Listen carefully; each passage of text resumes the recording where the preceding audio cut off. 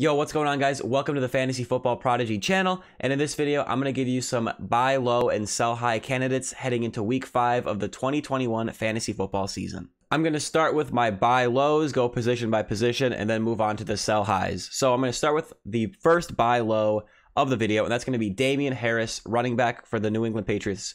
And um, as you can see, weeks one and two, he had some productive games 23 carries for 100 yards on the ground, in week one, 16 for 62 in week two. He had a few receptions in there, but nothing crazy. Weeks three and four, though, his production fell off. Six for 14 on the ground and four for negative four on the ground in week four. He did have two receptions for 30 yards, which made it so he didn't have negative points at least. But as you can see, the first two weeks were going great. Then weeks three and four were not going so great at all production wise. Why did that production fall off? Well, if you see his matchups in week one and two, he had much better matchups in the Miami Dolphins and the New York Jets. Weeks three and four, two very tough matchups. One against the New Orleans Saints and another one against the Tampa Bay Buccaneers. I expected him to not perform well in those games. I know against Tampa Bay in my stardom situm video, I made Damien Harris one of my biggest situms um, on the week, and that was a good call. He really didn't do anything in that game. But the next three games, he gets the Houston Texans, the Dallas Cowboys, and the New York Jets, particularly against Houston and the Jets. Those should be at least game scripts where he's able to receive a decent workload, receive some carries on the ground. And if you can get Damien Harris on the cheap, if the Damien Harris manager is frustrated with the lack of production the last couple weeks and you can get him as sort of like a throw-in piece or you can trade a couple sort of like you know low-end bench pieces and get Damien Harris uh, that is definitely a move I would make because I expect Harris to have some way increased production the next few weeks. And my next buy low is actually going to be his teammate on the New England Patriots, running back Brandon Bolden. So, as you guys probably know, James White of the New England Patriots was their pass catching specialist at the running back position. He went down, I think he went down in week three. Uh, he's out for the season. And then in week four, we saw Brandon Bolden see an increased role, particularly in the passing game. He, in fact, I don't think he received a carry because I don't see any stats. Oh, he had one carry, excuse me, my bad. He did have one carry for zero yards. But if you're in a PPR league or a half PPR league, I expect Brandon Bolden to be involved in the passing game a little bit moving forward. This isn't someone that you're going to use as an every week starter, but someone as a bye week fill in or an injury replacement. As you can see in week four, when he saw that increased role, he had six targets, caught all six of them for 51 yards. Listen, I don't expect him to be a fantasy demon, but as someone that you can put in your lineup in those situations that I mentioned and put up at least some fantasy points, I think that that is what Brandon Bolden is going to do. Um, you, I, he might even be on your waiver wire. You could go ahead and pick him up. Otherwise, if you're making a trade, maybe you could have the other team throw in Brandon Bolden to kind of even out the trade a little bit. And I think he will be relevant for fantasy moving forward. All right, so now we're going to move on to the wide receiver buy lows. And I'm going to start with wide receiver Stefon Diggs of the Buffalo Bills. Um, as you can see in the wide receiver rankings here, this is half PPR. Uh, we're four weeks into the season here. Well, we're going into week five. They've played four games. So Stefon Diggs is currently ranked as the wide receiver 19 behind guys like Mike Evans and Corey Davis, Brandin Cooks. Um, by the end of the season, I expect Diggs to be a wide receiver one. As you can see, guys, he's receiving a great amount of targets here 13, 8, 10, 11. He's catching the ball. He's putting up, you know, he's had a solid season, but he only has had one touchdown so far. And his production has been good, but not great. This is just a case where um, he's performing more as like a wide receiver two, but by the end of the year, I expect him to finish as a wide receiver one. So if you can get him for a wide receiver two price in a team in the Buffalo Bills that likes to pass the ball a lot, um, I think he's someone that I would definitely add to the team. This is a guy that you might not be able to get because if you know you're in a league with savvy players, savvy fantasy managers, they might not be willing to sell Stefon Diggs on the cheap. But I actually did see a trade recently this was after week three, I believe, where in a league that I was in, someone traded Stefon Diggs for Ja'Marr Chase. I would much rather have Stefon Diggs. So if you can get a trade done like that, that is something that I would do. All right, and my final buy low wide receiver is going to be Antonio Brown of the Tampa Bay Buccaneers. Um, he's just a good player. It's a good offense in Tampa Bay. Obviously, it's a crowded receiving corps. You got Mike Evans, Chris Godwin, Antonio Brown. Um, Rob Gronkowski at tight end is going to be involved. But I just really like how Tom Brady throws to Antonio Brown. They seem to have a good connection. And he had a good week one, great week one, actually. Uh, five for 121 and a touchdown. Week two, only one for 17 in a good matchup against Atlanta. So I think Antonio Brown will continue to be a little inconsistent. He will have games like that just because of how many options Tom Brady has to throw the ball to. Week three, he missed the game because he was on the COVID list. Week four, seven for 63, but I will say there were a couple targets that they missed on. It was a rainy game. It looked like Tom Brady missed a couple throws. And in particular, there was one deep shot to the end zone that was right there. He could have caught it for a touchdown, and it just slipped out at the last second. So he could have had a really big game in week four. So he had the big week one, week two, not a good game at all. He missed week three, and then week four, he had an okay game that could have been a great game. So I think the perception of Antonio Brown might be a little bit lower than it actually should be.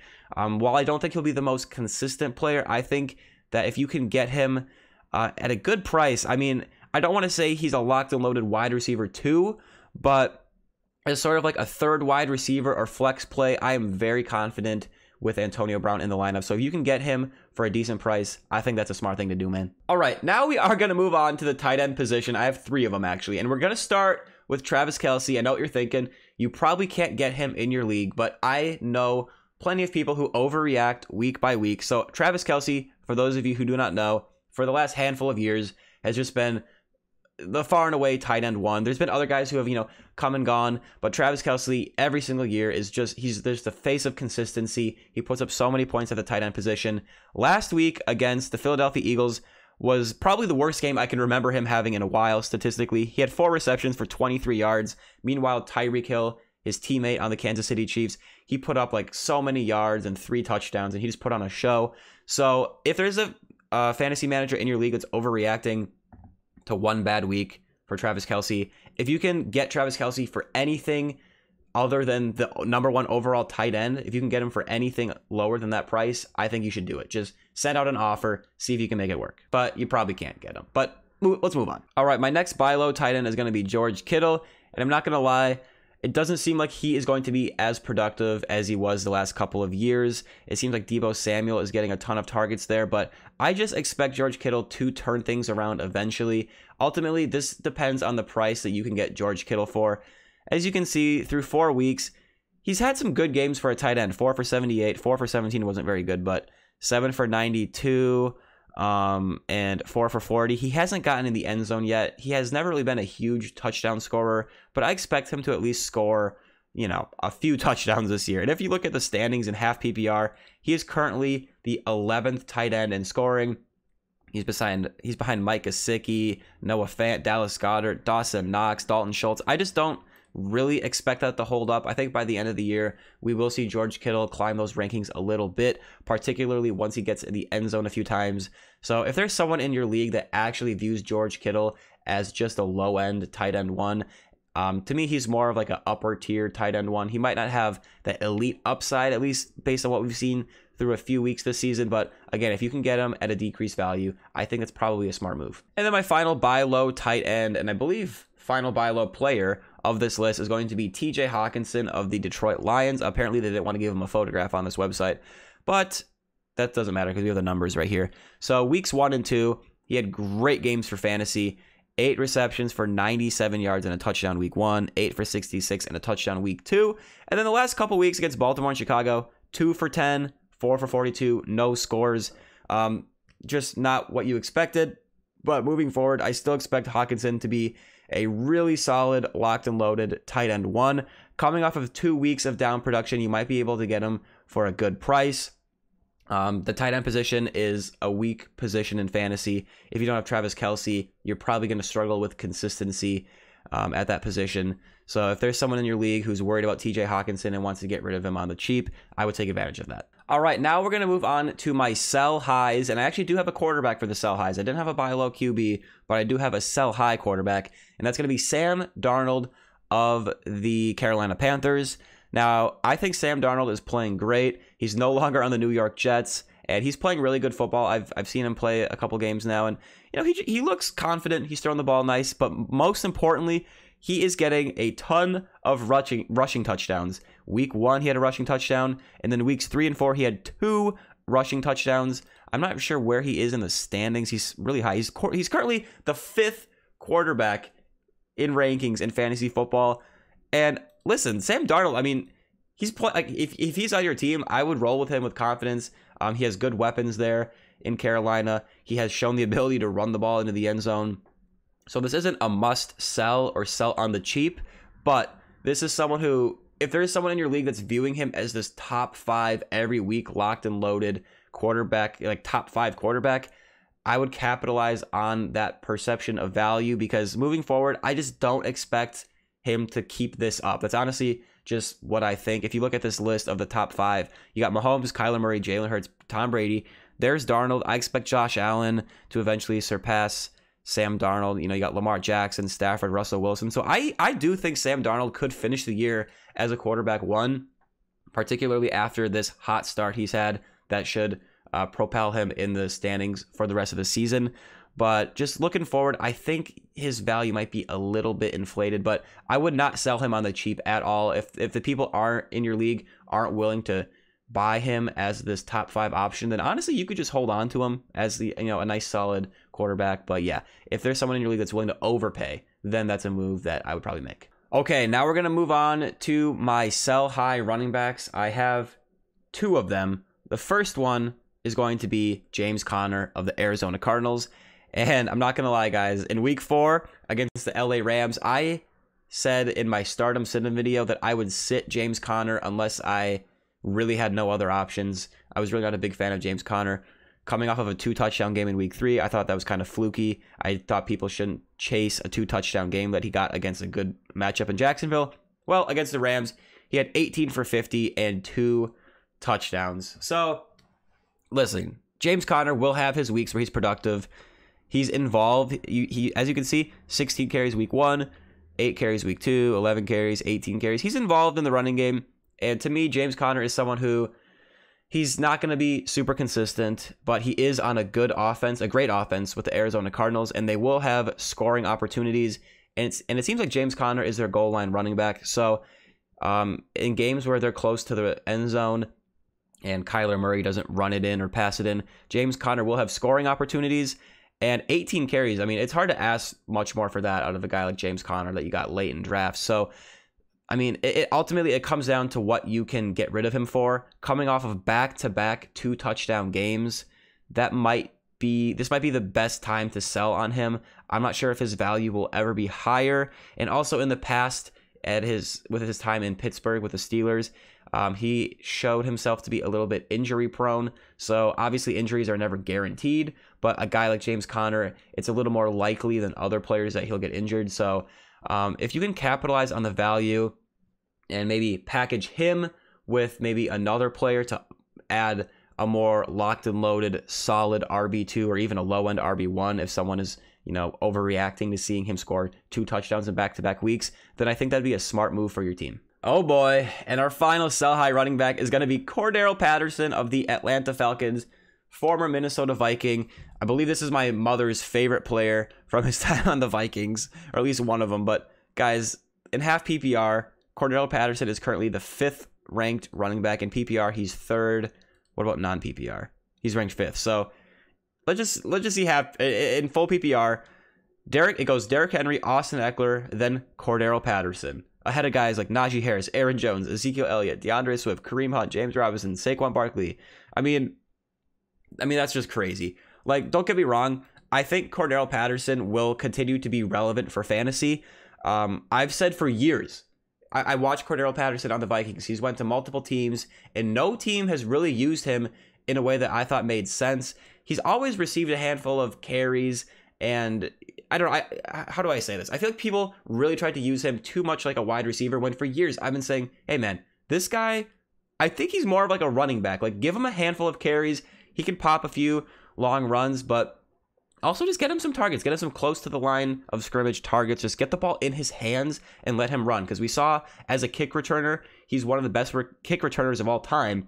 He could be a Hall of Famer just based on his kick return career. But looking at what he's done uh, just rushing and receiving this year. He's had about seven carries, six carries each of the the first four weeks. You know, 54 yards, 11 yards, 20 yards, 34 yards. He hasn't done anything super special on the ground, but as you can see, he's getting targets.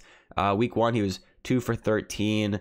Um, week two, five for 58 and a touchdown. Week three, six for 82. And then week four, uh, his biggest game of the season, obviously, five receptions for 82 yards and three touchdowns. So he's currently ranked, you know, as a top five running back in fantasy. He's coming off of a big three touchdown game. And while I think Cordarrelle Patterson will continue to be relevant for fantasy, be someone that you can play as a flex or even an RB2 if you're, you know, if you went zero RB or had an injury to David Montgomery or something.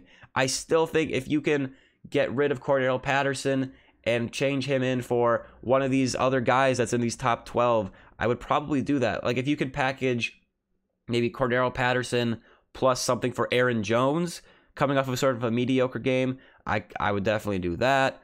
Um, Ezekiel Elliott, you know, guys like that who have shown a history of being locked and loaded running back ones. I would definitely trade Patterson plus a little bit for that because especially because you probably got Cordarrelle Patterson off the waiver wire or late in your draft. So um, you didn't invest much in him. I think this is the time to capitalize on his value. But if you're in a league that doesn't want to pay up for Patterson, I would. He's not a must sell for me because I do think he will continue to be relevant. Like I said, but I I, I got to say this is probably the best game he's to have all year. I could eat my words, but I'm just going to make the call that he's not going to have another three touchdown game this year.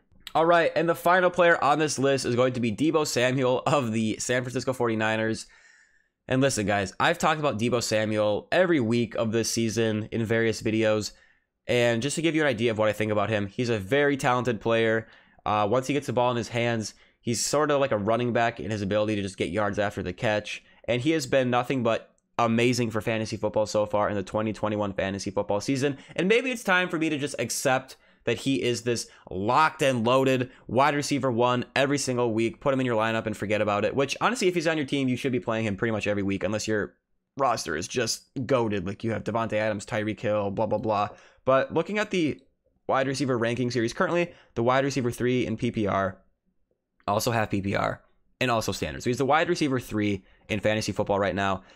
Um, there's a couple things to say about Deebo Samuel, and you've probably heard me say it before if you see my other videos, but he is injury prone his whole career. This isn't one of those players where, oh, he gets injured once and people say he's injury prone. No, he is very regularly injured. So it would not shock me at all to see him miss at least a few games this season, if not miss the season with a season ending injury. It's, it's just always a possibility for Deebo Samuel, more so than other players. Also, I just think he's overproducing a little bit. Brandon Aiyuk has not been involved, and maybe that will continue. Maybe that will continue. That's fine. George Kittle, I mentioned him earlier in this video as a buy low. I think we will see more games where George Kittle is more involved because, man, whenever I watch a 49ers play, when they throw George Kittle the ball, good things happen. So I have to think they will make things happen for him. But listen, as long as Deebo Samuel's on the field, I think he will be very productive for fantasy. But he's currently the wide receiver three ahead of guys like DJ Moore. Mike Williams is another guy who's higher than I expect him to finish as, but Terry McLaurin, Justin Jefferson, um, Davante Adams, even like those type of guys, I would much rather have than uh, Deebo. But if you look at his production, he's been great so far. So there's really this is not a guy who I'm saying get rid of him. He sucks. I'm saying he is producing at the highest level of his career. He's injury prone, and this is probably the peak of his value right now, coming off of yeah, coming off of a game where he had eight receptions for 156 yards and two touchdowns. So you know, I've been trying to, know, in for example, in one league I have him in, um, I've been trying to trade him plus sort of like a Mike Davis type of running back, kind of like, you know, one of those guys I don't really want on my team. I've been trying to trade him plus like a little bit for a more, you know, so, a solidified running back one, uh, something like that. But I have not been able to make it work. So in your league, if people aren't willing to overpay for Deebo, I would just hold on to him. But definitely someone that I would look to trade if the value is there. Uh, but Yet production wise, Deebo has been one of the best players in fantasy this year, one of the best steals, and I got him late in draft. So again, if you just want to hold on to him, uh, he's not a must sell. But again, if you can sell him as this high end wide receiver one, I would do it. And yeah, I spent a lot of time talking about Deebo Samuel because he's one of these players that I just I don't know I don't know what to make of him. It's it's the offense, the target distribution, the injury history, the the production just going through the roof all of a sudden. I don't know what to make of it, but uh, yeah. Well, that's gonna do it for this video, guys. We talked about a few players. I hope you enjoyed the video. I hope you found it helpful. Make sure to drop a like if you enjoyed the video. Subscribe to the channel for more fantasy football content, and I'll talk to you guys later. Peace out.